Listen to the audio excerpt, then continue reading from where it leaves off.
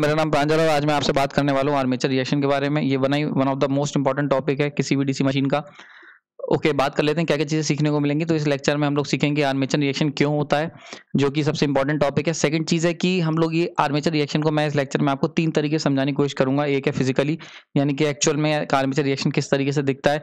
Second चीज़ है phasor diagram के थ्रू कि फेजर डायग्राम से क्या हम लोग कैसे समझ सकते हैं आर्मेचर रिएक्शन को। थर्ड वन है ग्राफिकली यानी कि हम लोग, ये जो ग्राफिकली पार्ट है, ये काफ़ी ज़्यादा कॉम्प्लेक्स है और इसको बड़े ध्यान से समझने वाला है। इसके अंदर हम लोग वेव फॉर्म फ्लक्स की वेव फॉर्म आर्मेचर की वेव फॉर्म आर्मेचर फ्लक्स की वेव फॉर्म इन सबसे ये चीज़ सीखेंगे कि कैसे आर्मेचर रिएक्शन होता है। तो चलिए शुरू करते हैं। सबसे पहले बात करी जाए फिजिकली की तो देखो आर्मेचर रिएक्शन की अगर बात की जाए तो अगर डेफिनेशन वाइज जाए, ठीक है तो डेफिनेशन वाइज सिंपली से आर्मेचर रिएक्शन जो होता है आर्मेचर रिएक्शन उसका मतलब होता है इफ़ेक्ट ऑफ़ ठीक है effect of armature flux armature flux over field flux ठीक है? Over field flux. इसका मतलब समझो कि मान लेते हैं, ये केस मैंने आपको बताया था, मान लेते हैं मेरे पास एक नॉर्थ पोल है और एक साउथ पोल है, ठीक है? तो नॉर्मल केस में क्या होता है, ये फ्लक्स कुछ इस तरीके से मूव करता है एयर के अंदर, ठीक है?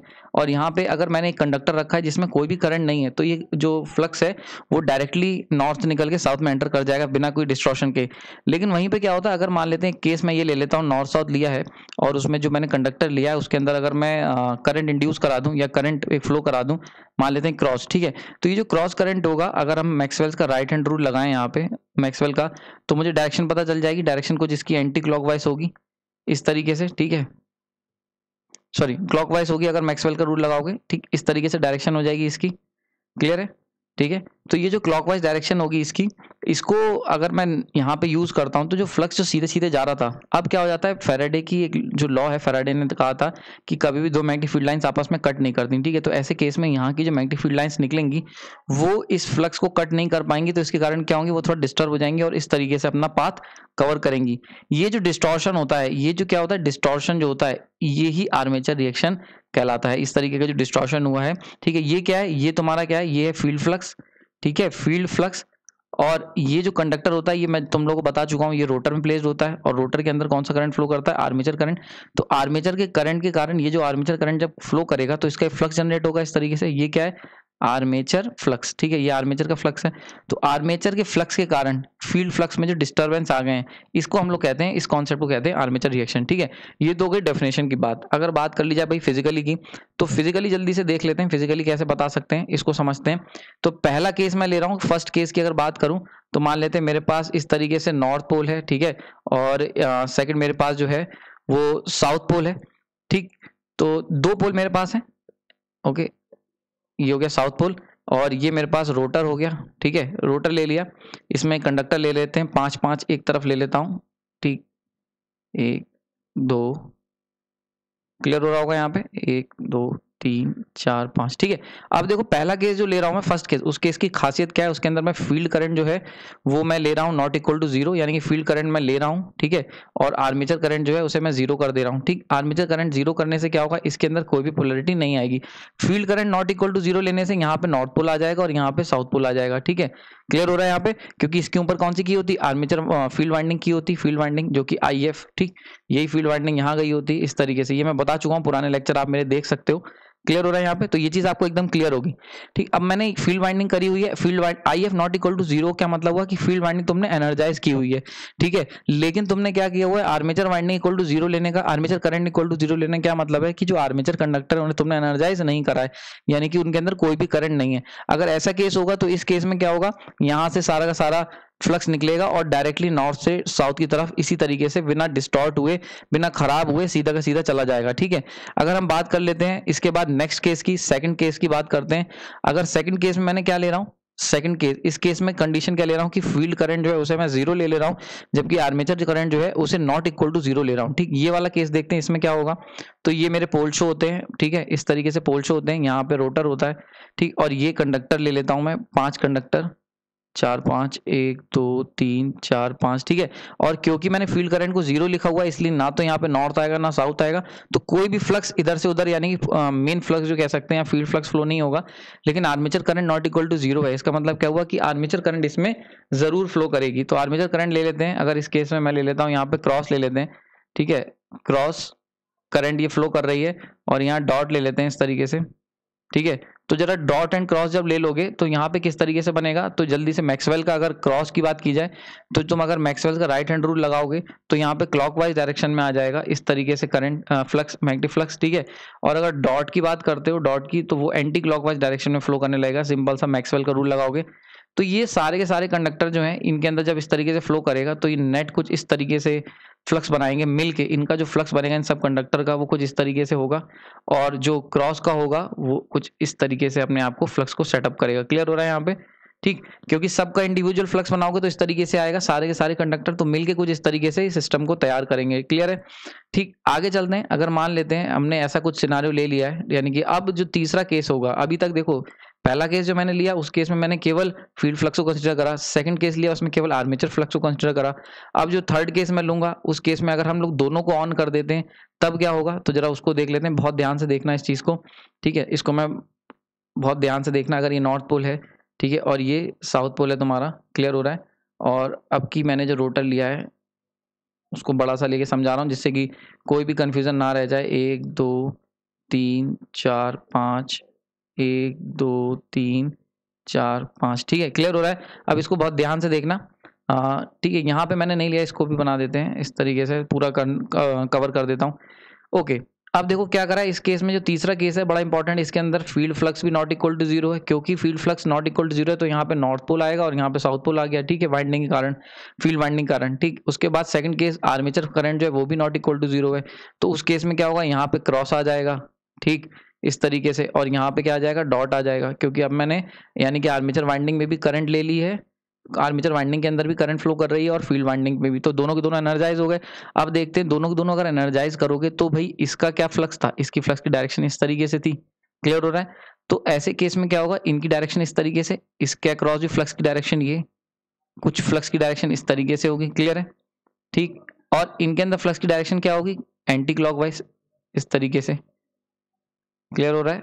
ये इस तरीके से इनके अंदर एंटी क्लॉकवाइज फ्लक्स की डायरेक्शन होगी, ठीक? अब जल्दी से देख लेते हैं कि अगर इस तरीके का सीन है तो जो फ्लक्स पहले की, यानी कि फ़र्स्ट केस में, जो ये सीधे सीधे जा रहा था, वो अब इस केस में किस तरीके से जाएगा, इसको जल्दी से देख लेते हैं। तो इस केस में क्या होगा? ये डिस्टॉर्ट हो जाएगा। किस तरीके से? अब ये जो लाइनें होंगी, ये कुछ इस तरीके से जाएँगी, ये। ध्यान से देखना, ठीक है? ये क्लियर हो रहा है? सेकंड केस क्लियर तो देखो, इस तरीके से अब ये लाइनें जाने लगेंगी। ठीक है? ठीक है, ये हो गया। इस तरीके से कुछ शिफ्टिंग हो जाएगी फ्लक्स की। यानी कि जो पहले फ्लक्स जो था, यानी कि फ़र्स्ट केस में, जो फ्लक्स की लाइनें सीधे सीधे जा रही थी, वो अभी सेकंड केस में क्या होगा? इस तरीके से जाने लगेंगे डिस्टॉर्ट होके। ठीक है सिंपल सा चीज़ है कि भाई नॉर्थ फोल है, ठीक है? अगर मैं एक कंडक्टर को देखूँ तो ये क्रॉस है, इसके अंदर फ्लक्स डायरेक्शन ये। तो अब जो साउथ में जाना होगा तो तुम कुछ इस तरीके से जाओगे। क्लियर हो रहा है यहाँ पे? अच्छा अगर ये एक ही कंडक्टर होता तो ये क्या होता? इस तरीके से अगर ये केवल क्रॉस लेते तो ये कुछ इस तरीके से केवल अपवर्ड डायरेक्शन मूव करती। लेकिन मैंने क्या करा? इधर क्रॉस लिया, इधर डॉट लिया हुआ है। तो देखो, यहाँ से ऐसे जाएगी और इसमें यहाँ डाउनवर्ड शिफ्ट होगी। डॉट क्या करेगा? डॉट डाउनवर्ड शिफ्ट करवाएगा। ठीक है? फ्लक्स लाइंस को और जो क्रॉस है, वो अपवर्ड शिफ्ट करवाएगा फ्लक्स लाइंस को, ठीक है? तो ये फ्लक्स लाइंस कुछ इस तरीके से इस शेप में जाने लगेंगी। क्लियर हो रहा है यहाँ पे? जैसा कि इसकी शेप बनी, ठीक है? अगर ये क्रॉस अगर ये डॉट नहीं होते तो ये इस तरह ये एक बार ऊपर तो जाती क्रॉस के कारण, लेकिन फिर सीधे चली जाती।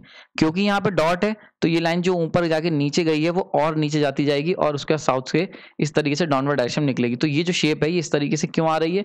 क्योंकि इधर क्रॉस है, जो इसे ऊपर उठा रहा है, और इधर डॉट है, जो इसे डाउनवर्ड पुश कर रहा है, ठीक? तो ये शेप हो गई, ठीक? अब देखो क्या हुआ, यानी कि अब इसी से हम समझ सकते हैं आर्मेचर रिएक्शन तो हो क्या रहा है कि फ़ील्ड फ्लक्स जो था, जो कि सीधी सीधी लाइनें जाने चाहिए थी, उनकी जगह वो सीधी ना जाके क्या हो रहा है, आप देख सकते हो डिस्टॉर्ट हो गई फ़ील्ड लाइन्स ठीक? सीधी जाने की जगह क्या हो रहा है इस तरीके से यानी कि एंगुलर पोजीशन में एंटर कर रही हैं। क्लियर इसको हम लोग कहते हैं आर्मेचर रिएक्शन ठीक, यानी कि ये ऐसा क्यों हुआ? सिंपल सी चीज़ है। तो देखो आर्मेचर के फ़ील्ड का इफ़ेक्ट ये जो पिंक कलर की लाइनें मैंने बनाई हैं, ये आर्मेचर की फ़ील्ड है। ठीक है? आर्मेचर की फ़ील्ड का इफ़ेक्ट किस पे? व्हाइट कलर की लाइन क्या है? फ़ील्ड की सॉरी फ्लक्स की फ़ील्ड पे। ठीक है तो फ़ील्ड फ्लक्स पे। फ़ील्ड फ्लक्स पे जो इफ़ेक्ट पड़ेगा आर्मेचर फ़ील्ड का, इसको हम लोग कहते हैं आर्मेचर रिएक्शन तभी इसका नाम है आर्मेचर रिएक्शन यानी कि आर्मेचर का रिएक्शन ओवर फ़ील्ड फ्लक्स ठीक है तो ये चीज़ समझ में आ गई होगी, ये फिजिकली समझाया है। अगर मैं फेजर की बात करूँ फेजर से इसको समझना बहुत आसान है। जल्दी से देख लेना फेजर से तो देखो पहला केस बना लूँ तो ये नॉर्थ है, ये साउथ है। यहाँ मैंने कोई भी कंडक्टर एनर्जाइज नहीं करा है तो ये डायरेक्शन ये हो गई फ्लक्स की, ठीक? यानी कि फाइव एफ़ की डायरेक्शन आ गई, ठीक है?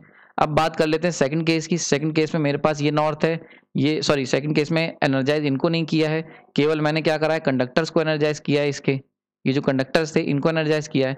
तो यहाँ क्रॉस ले लो और यहाँ डॉट ले लो। अगर ऐसा करोगे तो क्रॉस जो होगा, उसमें कुछ इस तरीके से बन रहा था, यानी कि डाउनवर्ड डायरेक्शन में आ जाएगा। क्लियर हो रहा है यहाँ पे? आप इसके लिए मैंने ये वाला डायग्राम देख सकते हो। इसके अंदर क्या जा रहा था? इस तरीके से जा रहा था। ये अपवर्ड जा रहा था। Then this one is the downward तो नेट फ्लक्स की डायरेक्शन क्या निकल गई? नेट फ्लक्स की डायरेक्शन फाइव ए डाउनवर्ड निकल गया क्लियर हो रहा है यहाँ पे? और इस केस में जो डाउनवर्ड जो डायरेक्शन निकल गई वो क्या निकल गया? इधर की तरफ़ फाइव एफ़ क्लियर हो रहा है? यानी फ़ील्ड की डायरेक्शन हॉरिजॉन्टल और आर्मेचर की डायरेक्शन वर्टिकल ठीक? तो देखो, ये फाइव एफ़ की डायरेक्शन ये आ गई। फाइव ए की डायरेक्शन नीचे की तरफ़ आ गई।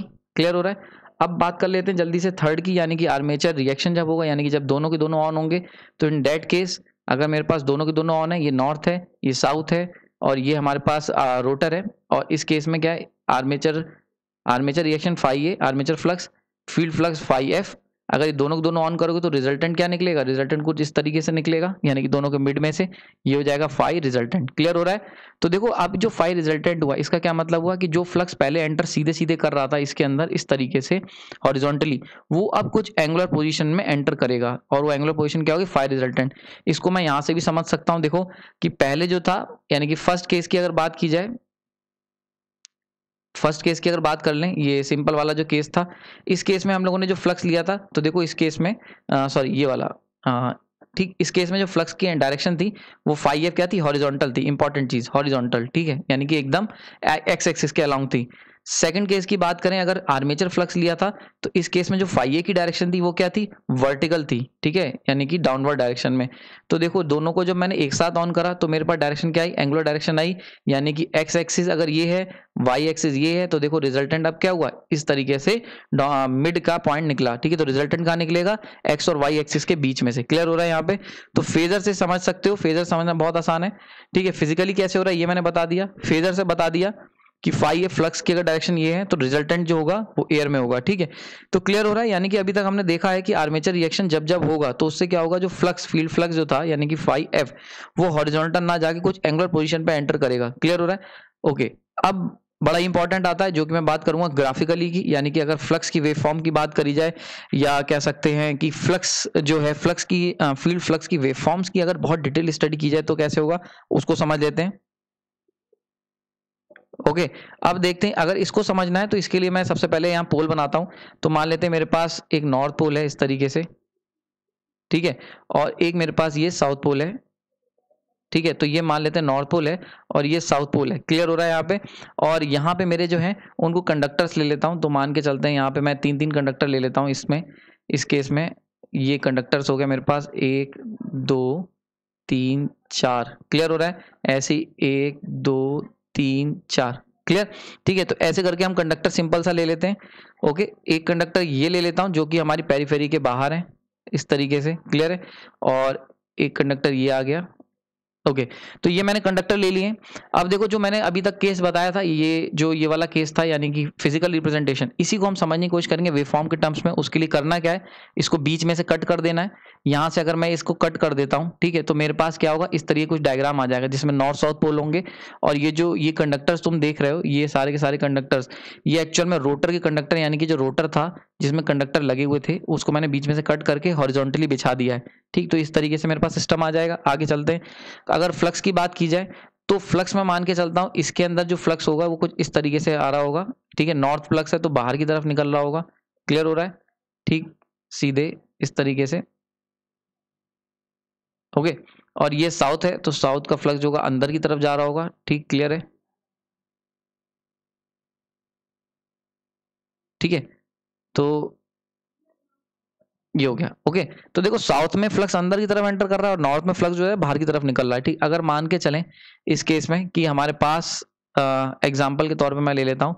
इस केस में मैं यहाँ ले लेता हूँ डॉट ले लेता हूँ इसको समझने के लिए। क्लियर हो रहा है? ये मैं डॉट वाला केस ले लेता हूँ। ठीक, और यहाँ पे क्रॉस वाला केस ले लेता हूँ। ठीक है, एक एग्जांपल ले रहा हूँ, आप चेंज भी कर सकते हो। ये डॉट और क्रॉस जो होगा, वो बेसिकली डिसाइड करेगा डिपेंड करेगा ऑन द कि आपने जनरेटर लिया है कि मोटर लिया है। ठीक है, ये मैं बता चुका हूँ कि जनरेटर के केस में ईएमएफ जो इंड्यूस होता है, उसकी डायरेक्शन और करंट की डायरेक्शन क्या होती है वोल्टेज की डायरेक्शन और जब हम मोटर लेते हैं तो उसके अंदर ईएमएफ इंड्यूस्ड की डायरेक्शन क्या होती है, ये चीज़ें मैं डिस्कस कर चुका हूँ पुराने लेक्चर में।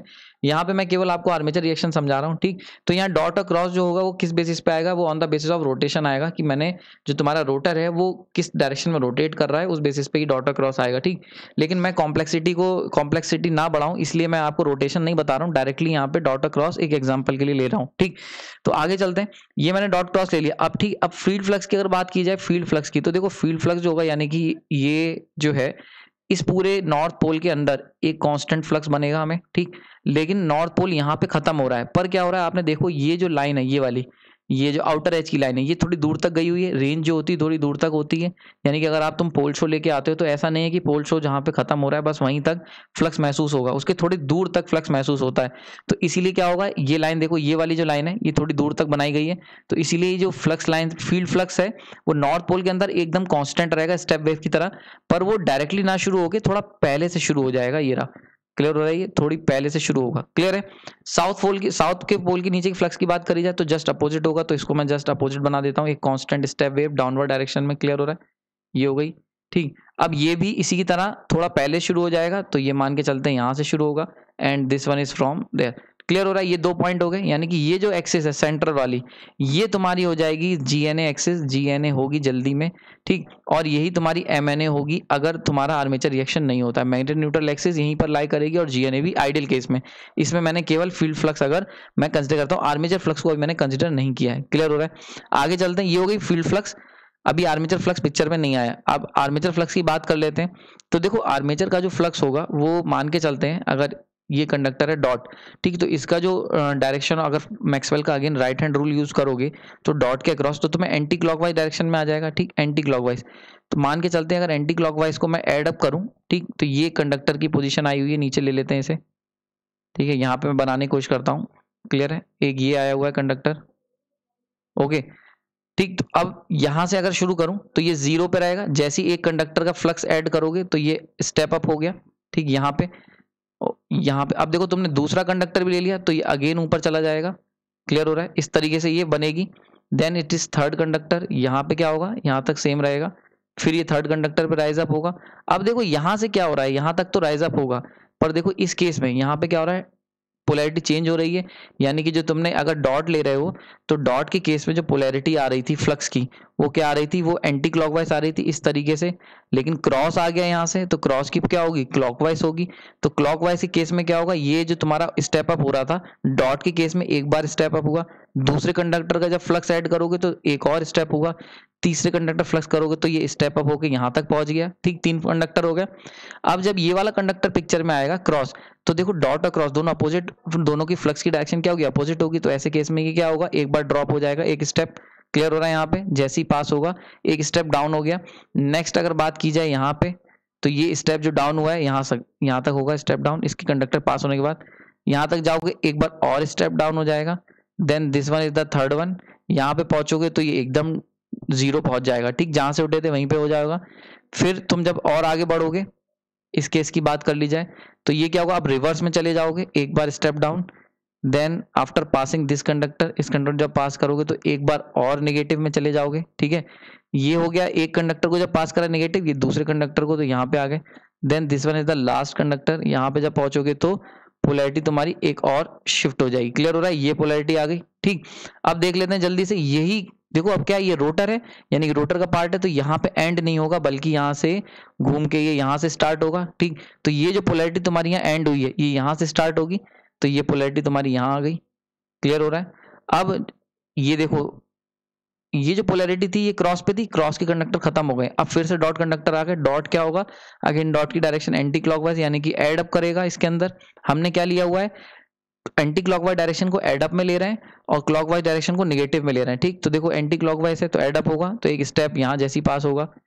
ये देखो, ये एक स्टेप अप हो जाएगा। ये बात समझ में आ गई होगी? यहाँ से जब हमने खत्म करा तो वो यहाँ से स्टार्ट हुआ। एक्चुअल में क्योंकि ये रोटर को मैंने बीच में से कट करा है। ऊपर देखो, ये मैंने बता रखा है कि हम क्या कर रहे हैं, जो रोटर था, उसको मैंने बीच में से कट करा है और उसको इस तरीके से रख दिया है। ठीक? तो जब इसको इस तरीके से ओपन करके रख दोगे तो ये एंड जो है, यानी कि ये वाला जो ए वन साइड है, वो यही है। यानी कि ये साइड और ये साइड एक ही चीज़ है। क्योंकि जब इन्हें जोड़ोगे तो ये एक ही स्ट्रिंग के दो पार्ट आ जाएँगे निकल के, ठीक? तो इसीलिए यहाँ पे जो एंड अप हो रहा है वो यहाँ पे स्टार्टअप हो रहा होगा। क्लियर हो गया ये चीज़? अब देखते हैं ये चीज़ यहाँ तक कॉन्स्टेंट रहेगी इस तरीके से, ठीक है?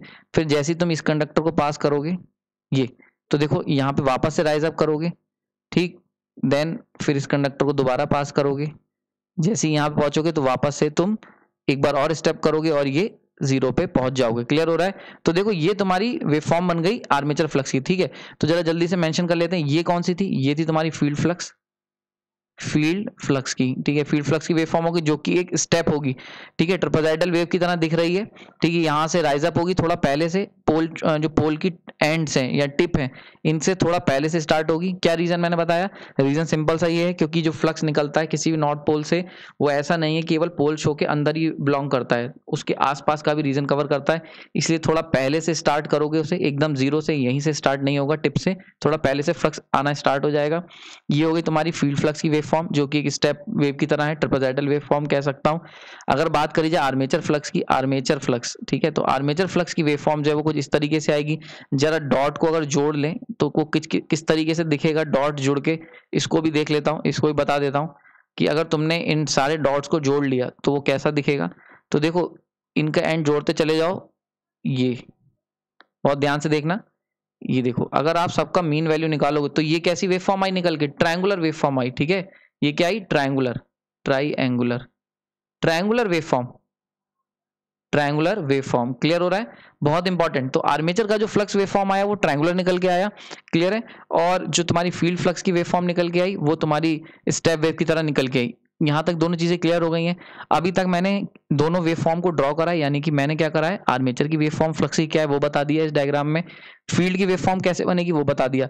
अब बात करते हैं रिजल्टेंट वेव फॉर्म की, यानी कि इन दोनों का जो मिक्सचर है, वो कैसा दिखेगा? उस पर आते हैं. ठीक है तो आपको ये समझ में आ गया हो किस तरीके से हमने दोनों वेव फॉर्म बनाई है। फ़ील्ड फ्लक्स आई होप ये चीज़ क्लियर हो गई होगी। फ़ील्ड फ्लक्स कैसे बनाया? आर्मेचर फ्लक्स कैसे बनाया? ठीक है अच्छा आर्मेचर फ्लक्स की अगर तुमसे वेव फॉर्म के बारे में पूछा जाएगा कि आर्मेचर जो फ्लक्स होता है, उसकी वेव फॉर्म क्या होती है तो याद रखना आंसर आप देंगे ट्रैंगुलर वेव फॉर्म होती है। देखो, यहाँ पे देख सकते हो स्टेप के रूप में ज़रूर बढ़ रही है, ठीक है, ये कंटिन्यूस ट्रैंगुलर वेव फॉर्म नहीं है स्टेप के रूप में बढ़ रही है। कैसे स्टेप के रूप में? क्योंकि एक कंडक्टर का फ्लक्स जोड़ा, फिर आगे बढ़े, दूसरे कंडक्टर फ्लक्स जोड़ा, फिर तीन कंडक्टर फ्लक्स जुड़ गया। इस तरीके से हम लोग इसको राइज अप कर रहे हैं। और जैसे ही आप अपोजिट ले रहे हो तो वहाँ पे क्या हो रहा है? फ्लक्स डाउनवर्ड की तरफ़ स्टेप डाउन होता जा रहा है। पर अगर तुम इनका मीन वैल्यू निकालोगे, एक एवरेज वेवफॉर्म बनाओगे तो वो एक ट्रायंगुलर वेवफॉर्म निकल के आएगी। इसीलिए इसको हम लोग कहते हैं कि जो आर्मेचर का फ्लक्स होता है, उसकी वेवफॉर्म क्या होती है? ट्रायंगुलर वेवफॉर्म होती है। आई होप ये चीज़ क्लियर हो गई होगी। आगे चलते हैं, आप देखते हैं आर्मेचर रिएक्शन का क्या इफ़ेक्ट होगा। रिजल्टेंट वेवफॉर्म कैसे बनेगी? तो देखो, अगर इसी डायग्राम को जितना मैंने बनाया है, इसको आगे प्रोसीड करूँ तो मैंने क्या करा है, यहाँ तक बना लिया था, यानी कि ये तुम्हारी ट्रायंगुलर वेवफॉर्म निकल के आ गई थी, ये फ़ील्ड फ्लक्स हो गया आर्मेचर फ्लक्स हो गया। अब अगर रिजल्टेंट की बात कर ली जाए रिजल्टेंट तो रिजल्टेंट के लिए एक एक्सेस मार्क कर देता हूँ। क्लियर है? अब देखो रिजल्टेंट में जब इंपॉर्टेंट चीज़ यहाँ पे ये आती है कि यहाँ पे ये वाली जो है, ये कांस्टेंट है फ़ील्ड फ्लक्स लेकिन क्या हो रहा है, ये ट्रायंगुलर है। जब इन दोनों को मिलाओगे, यानी कि एक स्टेप वेव फॉर्म को, एक ट्रायंगुलर वेव फॉर्म को जब मिलाओगे तो ऑब्वियसली चीज़ है, इन दोनों को जब एडअप करोगे तो यहाँ पे इस एरिया में क्या होगा सब्ट्रैक्शन होगा। क्योंकि देखो, यहाँ पे ये एरिया डाउनवर्ड है, जबकि ये वाला जो एरिया है, इस वाले एरिया में, इसमें एडिशन हो जाएगा, ठीक है? तो ऐसे केस में जब तुम इनका रिजल्टेंट निकालोगे तो वेव फॉर्म जो तुम्हारी है, जो भी आपने बना रखी है, ठीक, इस पॉइंट से लेके चलते हैं। ठीक है? तो यहाँ से जो वेव फॉर्म थी, जो कांस्टेंट थी, वो कांस्टेंट ना होके राइज अप कर जाएगी इस तरीके से। क्लियर हो रहा है ये? ठीक? तो ये जो फ़ील्ड फ्लक्स होगी, वो इस तरीके से राइज अप करेगी इस पॉइंट तक। देन यहाँ पे क्या होगा? यहाँ पे ये डाउन हो रही है तो एकदम से डाउन ना होके, ठीक? ये एक्सेस हो गई एकदम से डाउन ना होगी ये यहाँ पे डाउन होना शुरू होगी। अब देखो, यहाँ पे इसे ज़ीरो हो जाना चाहिए था, लेकिन ये क्या होगा? यहाँ पे ज़ीरो ना होके यहाँ पे जाके ये कुछ रह जाएगी। ये सब क्यों हो रहा है? ये हो रहा है जब इस वेव फॉर्म को इसके साथ रिजल्टेंट निकालोगे इन दोनों को एडअप करोगे। तो ये राइज अप होगी और यहाँ पे जाके जहाँ ज़ीरो होना चाहिए था बहुत इंपॉर्टेंट यानी कि जहाँ पहले एम एन ए थी मैग्नेटिक न्यूट्रल एक्सिस कह सकते हैं जहाँ पहले थी वो वहाँ पे ज़ीरो ना होके थोड़ी दूर बाद ज़ीरो होगी यहीं से शुरू हो, शुरुआत होती है शिफ्टिंग ऑफ़ एम एक्सिस की। तो ये कुछ वेव फॉर्म इस तरीके से आएगी ठीक? और देन इस तरीके से ये जाएगी उसके बाद ये ये जाएगा और इसी तरीके से नीचे वाला, ये वाली जो टिप है, ये ये भी अपने आप को राइज अप करेगी and then this one is downward ठीक? और ये, ठीक है? ये कुछ इस तरीके से वेव फॉर्म बनेगी। क्लियर हो रहा है यहाँ पे? अभी मैं आपको एक्चुअल पिक्चर दिखाऊँगा किस तरीके से होती है एक्चुअल पिक्चर कैसे दिखती है, ठीक? तो ये चीज़ समझ में आ गई होगी, ये क्यों हो रहा है? क्योंकि आपने क्या करा है? आपने इस फ़ील्ड फ्लक्स को और ये जो आर्मेचर फ्लक्स है, इन दोनों को जब ज्वाइन करोगे तो ये कुछ इस तरीके की रिज़ल्ट यूनिफॉर्म बनेगी। अब देखो, ये जो एम एन एक्सिस थी इसे यहाँ पे ज़ीरो हो जाना चाहिए था। यहाँ पे फ्लक्स को फ़ील्ड फ्लक्स को ज़ीरो होना चाहिए था। लेकिन अब फ़ील्ड फ्लक्स कहाँ तक जा रहा है? आगे तक जा रहा है, ठीक है? तो एम एन ए ये क्या हुआ? ये देखो, अब एम एन ए पहले जो यहाँ पे थी, ये थी M N A at zero position पे। लेकिन अब क्या हुआ? एम एन ए तुम्हारी शिफ्ट हो गई। ये क्या हो गई? ये हो गई shifted M N A clear हो रहा है? तो ये तुम्हारी शिफ्टेड है। थोड़ा सा कॉम्प्लेक्स है। इसको तुम्हें थोड़ा सा ध्यान से देखना पड़ेगा। ठीक है, अगर इसको बहुत डिटेल में पढ़ना है तो पीएस भीमरा में इसमें बहुत डिटेल में पढ़ सकते हो। पर मैंने अपनी तरफ़ से कोशिश की तुम्हें पूरा समझाने की। ठीक है तो सिंपल सी चीज़ है, आपको पहले फ़ील्ड फ्लक्स बनाया हमने। फिर हमने क्या करा? आर्मेचर फ्लक्स बनाया। जब इन दोनों को एडअप करोगे तो ये वाला जो एज है ये ट्रायंगुलर वेव फॉर्म के साथ एडअप होकर राइज अप कर जाएगा। राइज अप करने से क्या कौन से कॉन्सिक्वेंसेज होंगे?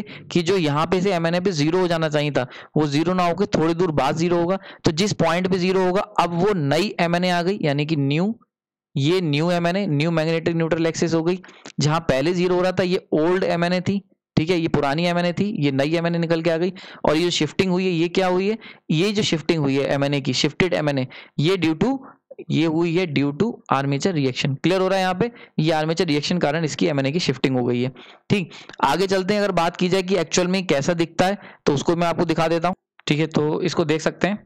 अभी देखो किस तरीके से दिख रहा है, यहाँ मैंने आपको बताने की कोशिश की है। ये डायग्राम जो है, ये एक्चुअली पीएस भीमरा से लिया गया है। ठीक है, इसके ऊपर और भी बुक्स हैं, लेकिन पीएस भीमरा में बहुत अच्छे समझा, इसको देख लेते हैं। तो देखो, ये पहले वाला फ़ीड फ्लक्स था, जो इस तरीके से बनाया हुआ था। बहुत ध्यान से देखना, जो मैंने इस डायग्राम में बनाया है, ये वाला, इस वाले फ्लक्स की बात कर रहा हूँ, ठीक, ये बना दिया है।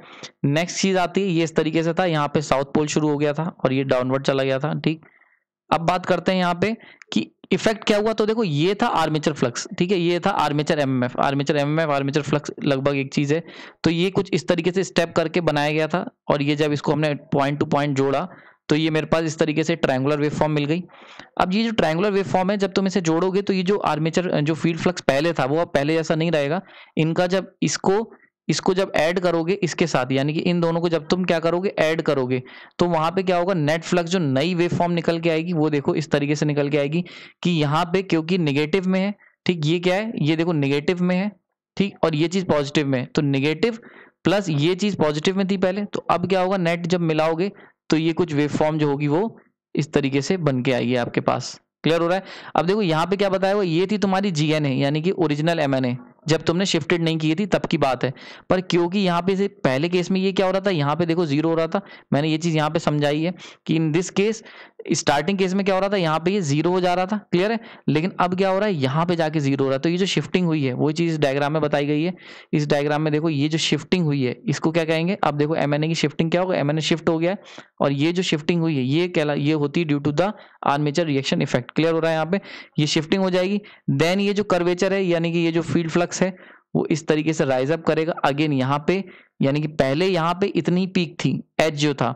लेकिन अब क्या होगा एज क्या होगा? राइज अप कर जाएगा। तो एक यहाँ पे एज राइज अप होगा and then this one is the end point यहाँ पे जाके वो क्लोज करेगा अपने आप को, ठीक? तो अगेन देखो, ये वाला पॉइंट की बात की जाए, इस वाले पॉइंट की तो यहाँ पे पहले एमएनए ये एमएनए थी, जब ज़ीरो केस ले लेते हैं, यानी कि जब आर्मेचर रिएक्शन नहीं था, पर आर्मेचर रिएक्शन होने के बाद जो फ़ील्ड फ्लक्स में शिफ्टिंग हुई है तो अब ये वाली देखो, ये नई एक्सेस निकल के आई है, ये आ गई है न्यू एम ये आ गई है न्यू एमएनए यानी कि ये नई एम एक्सेस आपके सामने निकल के आई है, ठीक? क्लियर हो गया? ठीक तो आई ये चीज़ समझ में आई होगी? ये थोड़ा सा कॉम्प्लेक्स था, जो ग्राफिकल रिप्रेजेंटेशन है, इसको जल्दी से रिवाइज कर लेते हैं, मैंने क्या क्या सिखाया? तो सबसे पहले मैंने आपको फिजिकली बताया, ठीक? इसके अंदर की फिजिकली किस तरीके से आर्मेचर रिएक्शन होती है? आर्मेचर रिएक्शन का मतलब बताया। आर्मेचर रिएक्शन का मतलब होता है effect of armature flux over the field flux next मैंने इसमें देखा, ये केस मैं फिजिकली जब रिप्रेजेंट करने चला तो उसको मैंने माना कि एक बार मैंने क्या करा, इस केस में फ़ील्ड करंट को नॉट इक्वल टू ज़ीरो लिया आर्मेचर करंट को ज़ीरो लिया। आर्मेचर करंट ज़ीरो लेने से कंडक्टर के अंदर कोई भी करंट नहीं होगा। इन डेट केस कंडक्टर में जब करंट नहीं होगा तो कंडक्टर कोई फ्लक्स भी नहीं होगा। और केवल और केवल फ़ील्ड फ्लक्स जो होगा, वो तुम्हारा पिक्चर में रहेगा तो सीधे सीधे चला जाएगा। ठीक नेक्स्ट केस आपकी मैंने क्या करा? फ़ील्ड करंट को ज़ीरो ले लिया तो नॉर्थ साउथ देखो गायब हो गया पिक्चर से। केवल और केवल आर्मेचर करंट पिक्चर में बचा है। आर्मेचर करंट जो होगा, जब मैंने उसको बनाया क्रॉस और डॉट लेके बाई कन्वेंशन कह सकते हो, या एक एजम्पन कह सकते हो, उससे मैंने लिया। तो यहाँ पे मैंने देखा डाउनवर्ड डायरेक्शन में नेट फ्लक्स निकल के आया। उसके बाद जब मैंने दोनों को एनर्जाइज करा तो ऐसे केस में क्या देखा गया कि जो फ़ील्ड फ्लक्स नॉर्थ से साउथ सीधे सीधे चला जा रहा था, वो अब सीधे ना जाके एक एंगल एक पर्टिकुलर क्या हो गया, थोड़ा सा टिल्ट हो गया है, थोड़ा सा कह सकते हैं शिफ्ट हो गया यानी कि एक्स वाई एक्सिस में फ्लो करने लगा है। क्लियर हो रहा है यहाँ पे? ये जो शिफ्टिंग हुई है, मैंने, ये जो सॉरी मैंने कह रहा हूँ, ये जो शिफ्टिंग हुई है एक्सिस की, यानी कि ये जो फ़ील्ड फ्लक्स जो था, जो अब सीधे ना जाके टिल्ट हो गया है, इसी को हम लोग कहते हैं आर्मेचर रिएक्शन यानी कि इफ़ेक्ट ऑफ़ या distorted distortion of field flux due to the armature flux is known as armature reaction clear हो गया? ये अब फेजर से मैंने आपको समझाया। फेजर से समझना बहुत आसान है। नॉर्थ से साउथ अगर हॉरिजॉन्टल फेजर है फाइव ठीक? आर्मेचर का जो फ्लक्स है, वो फाइव है डाउनवर्ड है। तो जब दोनों को मिलाओगे तो एक एंगल पे निकलेगा रिजल्टेंट फ्लक्स यानी कि रिजल्टेंट फ्लक्स जो होगा, वो एक पर्टिकुलर एंगल पे होगा और वो एंगल यहाँ पे भी शो हो रहा है। ये देख सकते हो, ये वाला जो है, ये ही है फाइव रिजल्टेंट फ्लक्स क्लियर हो रहा है? ये मैंने बता दिया। ग्राफिकली ये एक थोड़ा सा कॉम्प्लेक्स कॉन्सेप्ट है। मैंने अपना हंड्रेड दिया समझने के लिए। इसको थोड़ा ध्यान से समझना। इस केस में मैंने बताया कि अगर मैंने नॉर्थ और साउथ पोल लिए देन मैंने क्या करा? छह छह कंडक्टर ले लिए। नॉर्थ के अंडर में सिक्स और साउथ के अंडर में सिक्स ठीक है? फिर मैंने यहाँ पे फ्लक्स ले लिया। सबसे पहले मैंने फ़ील्ड फ्लक्स बनाया। फ़ीड फ्लक्स की जो वेव फॉर्म होगी, वो स्टेप वेव की तरह निकल के आएगी। स्टेप वेव जो होगी, वो बेसिकली डायरेक्टली स्टेप पूरी तरीके से स्टेप नहीं होगी, बल्कि ट्रिपोजाइडल वेव होगी। ऐसा रीजन क्या है उसका? रीजन ये है कि हम जो वेव फॉर्म बना रहे हैं फ़ील्ड फ्लक्स की, वो केवल टिप टू टिप ही नहीं चलेगी, बल्कि थोड़ा पहले और आगे से शुरू होगी। क्लियर हो? जैसे कि वेव फॉर्म देख सकते हो, यहाँ पे क्योंकि ये फ्लक्स केवल यहाँ तक ही सीमित नहीं है, थोड़ी दूर तक इसकी रेंज है। इसीलिए वो क्या होगा? इस पर्टिकुलर पॉइंट यानी कि टिप से शुरू ना होके, थोड़ा पहले से फ्लक्स शुरू हो जाएगा। क्लियर है? तो ये फ़ील्ड फ्लक्स बना दिया मैंने। देन मैंने क्या करा? ये कंडक्टर यहाँ ज़ीरो से स्टार्ट करा था। इसको बनाने का तरीका क्या है? आप ज़ीरो से स्टार्ट करेंगे और हर कंडक्टर फ्लक्स जोड़ते जाएँगे। मैंने इसको बनाने में क्या लिया है? जो एंटी क्लॉकवाइज फ्लक्स है, उसे एडअप माना है और जो जो क्लॉकवाइज फ्लक्स है, उसे सब्ट्रैक्टिव माना है, ठीक? तो मैंने क्या करा, एक कंडक्टर का फ्लक्स राइज अप करा देन दो कंडक्टर जोड़ा देन तीन कंडक्टर फ्लक्स जोड़ा। अब देखो, यहाँ पे जब तुम पहुंचोगे इस पॉइंट पे, यानी कि जीएनए पे तो अब जो बचे हुए कंडक्टर है, वो क्रॉस के हैं। तो क्रॉस के कंडक्टर होने की वजह से इनका नेट फ्लक्स डाउनवर्ड में जाएगा, यानी कि माइनस होगा। तो अब देखो स्टेप स्टेप करके मैं इसे माइनस करता चला गया, और यहाँ पे जाके ये एंड अप हुआ। ये पॉइंट जो है, और ये पॉइंट ये दोनों के दोनों, यानी कि दोनों जो सिरे हैं, इस डायग्राम के वो एक दूसरे से कनेक्टेड है, क्योंकि एक रोटर है। रोटर को मैंने काट के हॉरिजॉन्टल वेव में लिया हुआ है, ठीक है? अब जब ये मैंने इन दोनों कनेक्ट कर दिया है तो जब इनको मैं अगर इस तरीके से इनके टिप को जोड़ देता हूँ, ठीक है? तो सॉरी यहाँ पे जो वेव खत्म हुई है वो यहाँ से शुरू होगी और वो फिर से ये जो डॉट है, इनके कारण अपवर्ड की तरफ़ मूव करेगी और यहाँ तक पहुंचेगी। क्लियर हो रहा है ये चीज़? ये चीज़ सिंपल है। अब क्या करा है मैंने? इसकी एक्चुअल वेव फॉर्म अगर तुमसे पूछी जाए, जो कि पेपर में बहुत आता है कि आर्मेचर फ्लक्स की वेव फॉर्म क्या होगी तो आपको क्या करना है? सिंपली इन टिप को जोड़ते हुए रिजल्टेंट वेव निकालनी है, एक रिजल्टेंट लाइन बनानी है और वो जो रिजल्टेंट लाइन होगी, वही हमारी आर्मेचर फ्लक्स की होगी, जिसे हम कहेंगे ट्रैंगुलर वेव फॉर्म तो जब तुमने इन सबको जोड़ा तो ये एक ट्रैंगुलर वेव फॉर्म की तरह तुम्हारे सामने निकल के आई क्लियर हो रहा है? तो ये चीज़ मैंने बताई। नेक्स्ट चलते हैं, जब मैंने इस ट्रायंगुलर वेव फॉर्म और इस फ़ील्ड फ्लक्स को दोनों को जोड़ा, जो कि होता है, यानी कि आर्मेचर रिएक्शन में क्या होता है? आर्मेचर फ्लक्स और फ़ील्ड फ्लक्स इनका रिजल्टेंट फ्लक्स निकल के आता है। तो जब इन दोनों को मैंने एडअप करा तो जो फ़ील्ड फ्लक्स था, वो जो स्टेप वेव थी, वो स्टेप वेव ना होकर कुछ इस तरीके का डायग्राम बनाएगी, यानी कि इस तरीके की वेव फॉर्म ट्रेस करेगी। खास बात क्या थी कि उसका जो टिप था, जो पहले यहाँ था, वो इस स्ट्रेंगुलर वेव फॉर्म फॉर्म के कारण इधर से अपवर्ड राइज कर जाएगा और दूसरे एंड से, यानी कि ये वाले एंड से डाउनवर्ड राइज कर जाएगा। क्लियर हो रहा है यहाँ पे? ठीक? और इसी तरीके से साउथ के साथ होगा, साउथ का भी ये वाला जो एज है, देखो अगर बात की जाए तो एक एज ये है and this one the second one is this one edge एक दूसरा एज तुम्हारा ये है। ऐसे यहाँ पे इसको वन और टू ले लेते हैं, इसको थ्री एंड फोर ले लेते हैं। क्लियर हो रहा है? तो देखो नॉर्थ का जो फोल नॉर्थ फ्लक्स का जो पोल फ्लक्स है, वो देखो टू वाले पे राइज अप कर रहा है, यानी कि हाई हो जा रहा है, और वन वाले पे डाउन हो जा रहा है। इसी तरीके से साउथ का जो फ्लक्स है, वो थ्री वाले पे डाउन हो रहा है और फोर वाले पे राइज अप कर रहा है। क्लियर हो रहा है? तो इस तरीके से क्या हो रहा है? फ़ील्ड फ्लक्स की शिफ्टिंग हो जा रही है। और ये शिफ्टिंग क्यों हो रही है? आर्मेचर रिएक्शन से। देन मैंने आपको इसको एक डायग्राम से समझाने की कोशिश की है।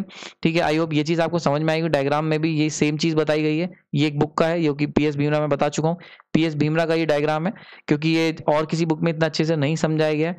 ठीक है? तो ये जो आर्मेचर फ्लक्स है again triangular wave form then this one is the original field flux इन दोनों को जब एडअप करोगे तो ये वेव शिफ्ट दी हुई। खास बात जो इसमें बहुत इंपॉर्टेंट देखने की है, जो पहले एमएनए थी, जो जीएनए के साथ थी, वो अब क्या होगा? आगे शिफ्ट हो जाएगी क्योंकि अब इस वेव फॉर्म के फ़ील्ड फ्लक्स से शिफ्ट होने के कारण वो इस एक्सिस यानी कि जीएनए पे ज़ीरो ना होके अदर देन जीएनए एक्सिस यानी कि शिफ्टेड एम एक्सिस पे जाके वो ज़ीरो अपने आप करेगा। ठीक है? आई होप ये चीज़ आपको लेक्चर आपको समझ में आया होगा। ये बहुत ही इंपॉर्टेंट लेक्चर है और इसमें मैंने जितनी भी तरीके से आर्मेचर रिएक्शन को समझाया जा सकता है, उसको मैंने कवर करने की कोशिश की है। पहला तरीका फ़िज़िकल तरीका जो आपको हर बुक में मिल जाएगा, बहुत ईजी है। सेकंड तरीका फेजर है, जो कि और भी ईजी समझने में, लेकिन थर्ड वन जो है, वो बहुत ही ज़्यादा कॉम्प्लेक्स कॉन्सेप्ट है। उसको समझने के लिए आपको बहुत ध्यान से इस लेक्चर को देखना पड़ेगा, ठीक है? और इसके बाद चाहें तो आप पी एस भीमरा से इस इस चैप्टर या इस टॉपिक को पढ़ सकते हैं और अपने कॉन्सेप्ट को एकदम क्लियर कर सकते हैं। ठीक है, आपने अपना कीमती समय दिया, उसके लिए धन्यवाद। अगर आप कोई भी डाउट है तो आप कमेंट सेक्शन में बता सकते हैं मुझे। मैं उसको सॉल्व करने की कोशिश ज़रूर करूँगा। Thank you